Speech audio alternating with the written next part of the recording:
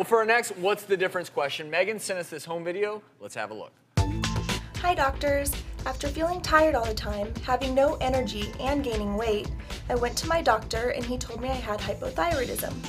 My situation never really got resolved. What's the difference between hypothyroid and hyperthyroid, and what should I do? Thanks, doctors. Well, Megan is here, and to help answer her question, we also have endocrinologist Dr. Katja Van Herle with us. Welcome, ladies. Thank you. So today's show is all about what's the difference, hypo, hyper.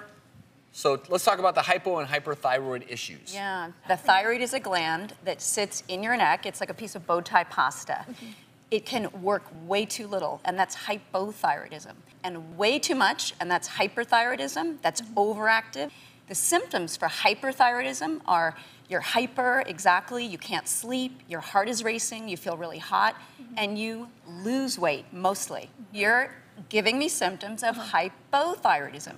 Weight gain, fatigue, no energy, really, really common. Uh-huh. So if you're diagnosed with either one of the diseases, both are really treatable. It's mm-hmm. amazing because it's very, very common and very common in women. Hypo or low thyroid is treated with thyroid hormone. Mm-hmm. And one thing I want to tell you is if you got diagnosed with true hypothyroidism, you have to be on thyroid hormone replacement and you have to take it for the rest of your life. Okay. That's a tough one to understand at such a young age, I know, but, But if you get, there is good takeaway here, which is if you're truly hypothyroid mm-hmm.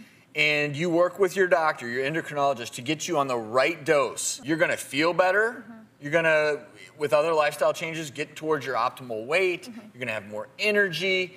And so that's the good news. And if anyone out there is experiencing either rapid weight loss for no known reason or rapid weight gain for no good reason, talk to your doctor about getting your thyroid hormone levels tested. It's an easy blood test, and then we can figure out how to resolve the issue. Dr.